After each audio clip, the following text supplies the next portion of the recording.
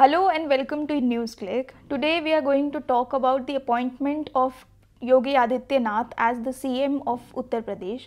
And to discuss the topic, we have with us our editor-in-chief Prabir Purkayastha. So, uh, my first question to you, Prabir, is appointment of Adityanath as CM of UP. What does it signify? I think this has shocked a lot of people, including those who supported Modi in the UP elections. I think they have been shocked because Yogi Adityanath really represents the hard face in Hindutva in the sense that he has been stopped by the Election Commission for making hate speeches. He has made what, by all accounts, would be called necrophilic speeches, rape of dead women, various other things that have been said by him are really far beyond what constitutionally even would be considered as reasonable or acceptable speech. It's another matter that we really have never uh, prosecuted people for hate speech the way it should have been. By asking him to be the chief minister, the BJP is making it very clear that they don't consider Muslims as a part of who they think are of people of Uttar Pradesh. Of course, we saw that by the fact that they didn't put up any Muslim candidate, not even a token candidate was put up by BJP. So now they're basically trying to bring in an understanding that we only consider 80% of Indians as Indians, 20% who are Indian citizens, who are Muslims, are outside the pale of our thinking. So I think that's what Adityanath represents. And in some sense, it is the Gujarat politics now being institutionalized in, in Uttar Pradesh. Because this is what happened after the Gujarat riots. Muslims really not only got disenfranchised, they also lost out in various other walks of life. They were squeezed out of their traditional occupations. They were uh, the meat as business, the non-vegetarian food as business. These were squeezed in different ways. So there's been a whole economic attack which took place on the Muslims in Gujarat.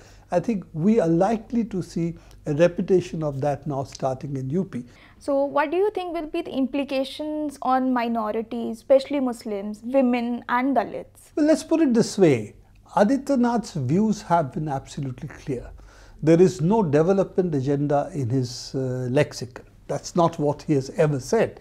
It's only now, as been being sworn in, he talked about development, sabka vikas and so on, but that's never been his plank. Wherever, wherever and whenever he has spoken, his speech has been divisive. So what we're likely to see is, for instance, retrogressive bills being passed, the attempt to bring cow slaughter as an offense of different kinds.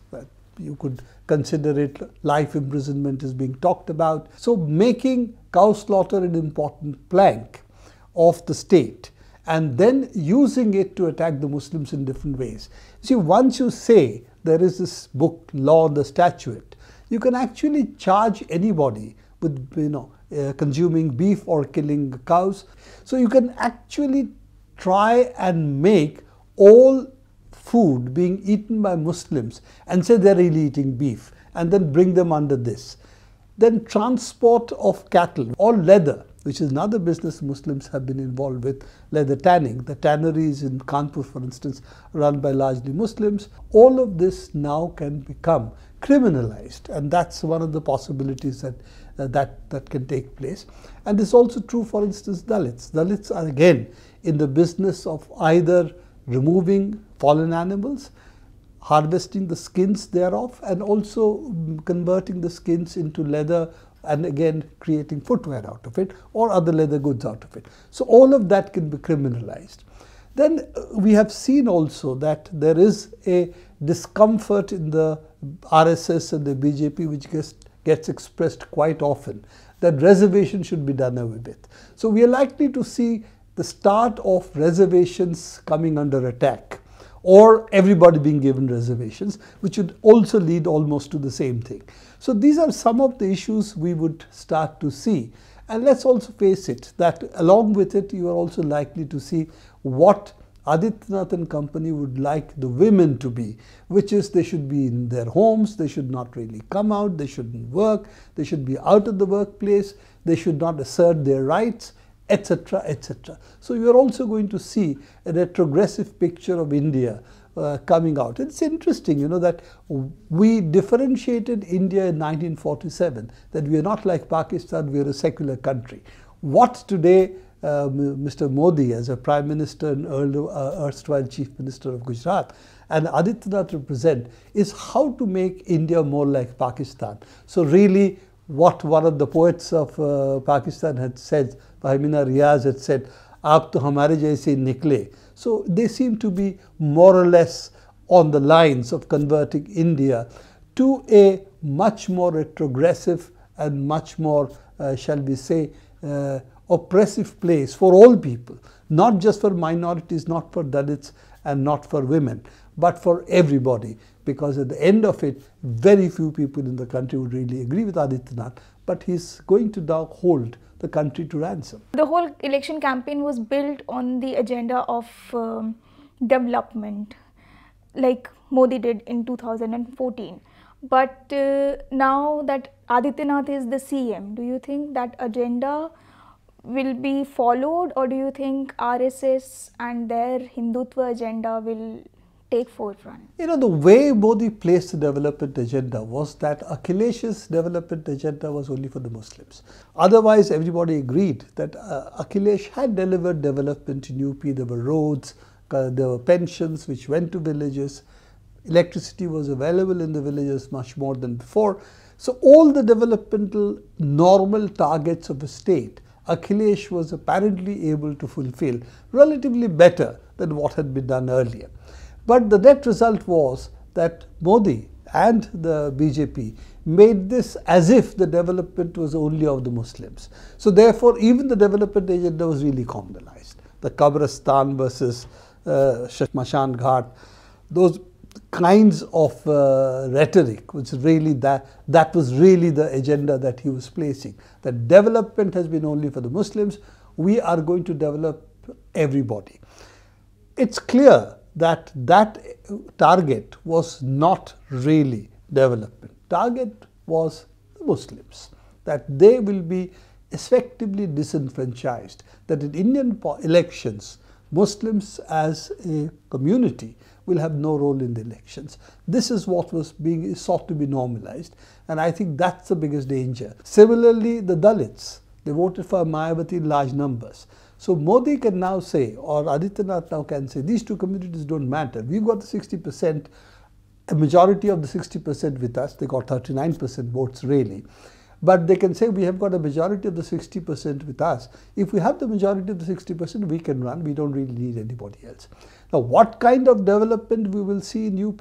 We have to wait and see. But it's clear whatever development takes place, it is going to be a development which will leave outside its pale these two communities. Uh, BJP didn't announce their uh, CM candidate before the elections. Do you think that was part of the strategy? It is very difficult to see what the strategy is or, you know, think into the minds of uh, Mr. Modi and the others. So I would say, from all accounts, that this is not a surprising decision. They purposely did not want to uh, disclose this before the elections because they thought the liberal reaction the reaction of a number of people who are sort of middle roaders who might vote for Modi because of the development plan in spite of his communal uh, rhetoric that they would then think, no, this is real, and therefore Modi represents a certain kind of threat to the secular fabric of the country. A lot of the people who voted for Modi think that he's a doer, he's a go-getter, that he might have demonetized the currency note strongly, but doesn't matter, he at least could execute something. So there is this aura of a doer that Modi has, which people believe then should be supported in the hope that India will have a better future. I think they, a lot of them, would have felt that no, if Adityanath is going to be the chief minister, that, that is not what would happen. So I think that was the reason they did not really declare his name beforehand. But in essence, it does not seem to me that this was something which was not calculated beforehand. And also they were uh, talking about different OBC sections being given a part of the pie and therefore not to declare a Thakur upper caste chief minister could also be a way of keeping certain OBC section with them. So uh, we still have two years, almost two years of Modi government and now five years of Adityanath government. Do you think communalism, resistance to communalism will build up in our country? I think the three kinds of resistance we need. One is the secular democratic resistance which has to be built because this is not simply another political party. It's really an attack on what this country stood for in 1947 when we had independence, a secular democratic republic. How secular, how democratic we can still discuss, but there's no question the intent of the people and the intent of the leadership at that point of time was to build a secular democratic nation. So that's one which needs to be protected and the whole bunch of people who may not agree with this or that political party, but they will agree with the secular democratic content of our politics who need to be brought together. Second is a very important part is a cultural resistance that what we are seeing is not just simply attack on politics. It's not an attack on the constitution, but it's an attack on the way we live, the way we want to express ourselves, what we eat, what we wear, what we can do, what women can do uh, what Dalits' positions in society should be, that they are full citizens of this country and cannot be oppressed anymore. So all those assertions are going to be under attack. So we need a, a cultural resistance to be built up which unites people. And of course, overall, we need a political resistance to be built up, irrespective of the agenda we may have, to protect these values and bring everybody together. I, I do not think India can be turned into a kind of, shall we say, uh, uh, Hindutva fortress as Mr. Adityanath or other communal uh, figures would like it to be. I don't think hate can win for long and therefore I do believe the resistance is going to spring up. Whether it leads to a different result in 2019, we have to see. But I do not think this can go on forever. This is an unstable short-term victory which cannot be sustained. This is all the time we have today at NewsClick. Thank you so much for joining us.